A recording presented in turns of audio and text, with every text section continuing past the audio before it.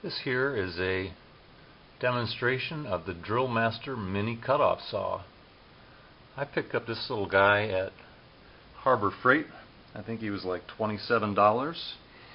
As you can see, it's a tiny little chop saw with a 2 inch blade that's very fine tooth. I'm using it today to see how it cuts bindings for guitars. You can see I've got an ebony binding in the uh, clamp that's part of the unit. Adjustable. And it's holding a uh, ebony side binding. I'm going to go ahead and power it up and make the cut. And I tried it on a couple of pieces. That's a straight cut on top. And then I did a 45 degree cut. So if you want to blend your bindings together, you can do it either butt cut or with a angle cut like that to hide it. I'm going to go ahead and flip it on now